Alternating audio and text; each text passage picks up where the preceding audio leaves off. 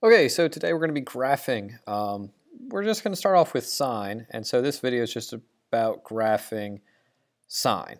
And cosine and sine are actually pretty much the same procedure. Obviously the graphs are going to look a little bit different because uh, they're different functions, but the procedure is pretty much going to be about the same. Um, so if you can do any of these for sine, you'll be able to do them for cosine. Right, so um, here I have my graph. Um, it's a little bit like if I did this, you could see, oh, there's the x-axis, there's the y-axis. We're not really too concerned about negative values here, so I have my graph exaggerated like this. Now, if you think about it, we can find any value for, uh, we can plug in anything for x, right? We can plug in 0, 1, 2, 3. But over here, I have like my unit circle. If you think about like the sine of pi over 4, that's going to be root 2 over 2. If I gave you a graph and I told you to graph root 2 over 2, you probably sweat a little bit and complain maybe. But um, you can avoid that by doing like the four corners of a unit circle. So this is 0, that's pi over 2, this is pi, this is 3 pi over 2, and this is 2 pi. These are all, of course, in radians. Sine is the y value, so sine here is 0, sine here is 1, sine here is 0, sine here is negative 1, and sine again is 0. You can see that these values go between 0, 1, 0, negative 1 in this circle. And that's pretty much what this is. When I graph this, I'm going to have my maximum of 1, my maximum, or my minimum of negative 1. And I'm basically going to graph these points. Well, here this is where the this is the origin, so that's 0. And then I'm going to have pi over 2, pi, 3 pi over 2, 2 pi. So that's additional 4 points. So just like this. So again, I'm going to have pi over 2, pi, 3 pi over 2, and 2 pi. So if I graph these, again, sine of 0 is 0 sine of pi over 2, that's 1. Sine of pi is 0. Sine of 3 pi over 2 is negative 1. And sine of 2 pi is 0. When I graph these, I want to make sure that these are curved. You don't want to do just straight lines between them. like that kind of looks like, right? All right, let's try that again. Uh, drawing this on a computer is not the easiest thing in the world a little bit rounded off. Yeah. So it's going to look like a wave. And actually, if I complete this, I'm going to have, um, it's, it's just, if I copy and paste it this, it would look the exact same thing going on towards infinity. This is a wave.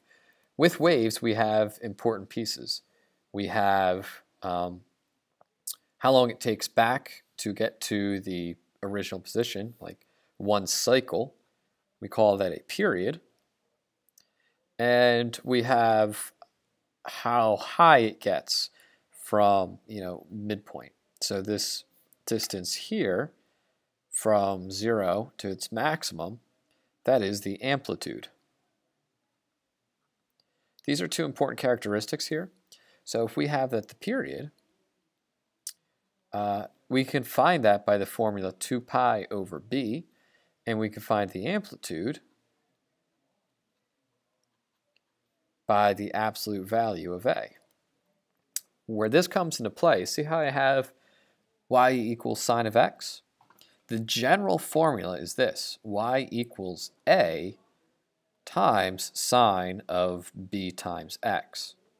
So b is the coefficient of x. Here we can see that this is really a 1x. So b is 1, so 2 pi divided by 1 is 2. 2 pi, sorry. Uh, here, this is 1 times sine. So again, A is 1, so the amplitude is 1. So it's pretty cool how that works out, right? Well, let's take a look at an example. I have the same sort of setup here of y equals 2 times the sine of, oh, I don't know, let's say 2x.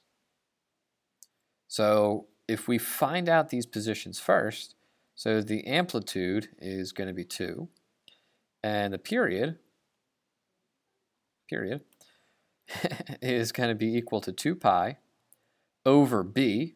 b in this case is 2. So I get the period as pi. What we want to do is we want to, again, sort of treat this as um, a circle. We're going to divide this into fourths. Now imagine, instead of going from 0 all the way to 2 pi, we go from 0 to pi. Then halfway would be pi over 2, a quarter of the way would be pi over 4, and 3 quarters of the way would be 3 pi over 4. So actually, getting these values here, that's what I put in for my graph. So the amplitude, again, is going to be 2 and negative 2. And then if I graph these four points here, I'm always going to start with 0, but then the other four points, it's going to go up to the period. That's going to be, in this case, pi. And then so I start with pi over 4, pi over 2, and 3 pi over 4. If It doesn't really make sense how that works out. Remember, we're taking all of these x values and we are multiplying them by 2. All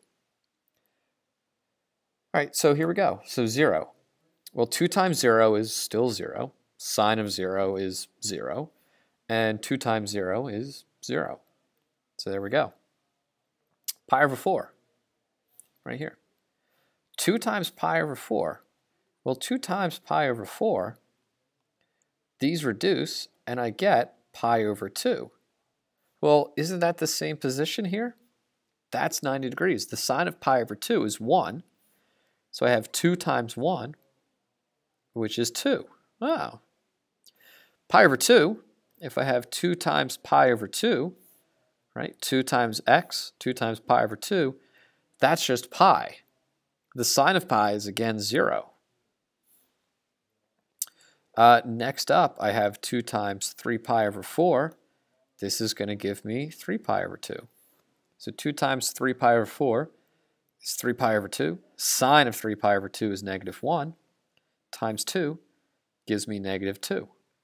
And of course, sine of 2 pi is 0.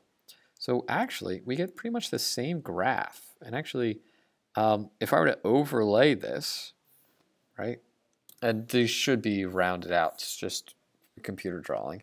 If I overlay these, look at how similar these pictures are. I mean, they're pretty much the exact same. It's the exact same shape. It's the exact same wave. What I manipulated was the points on the x-axis. And I found those by making sure my last point was my period, and I just sliced that into fourths.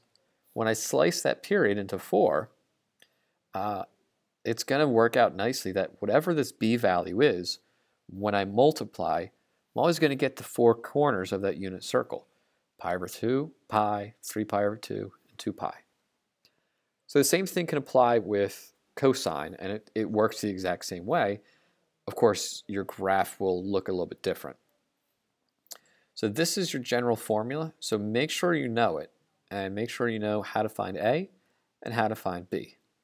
Once you know that, graphing becomes simple.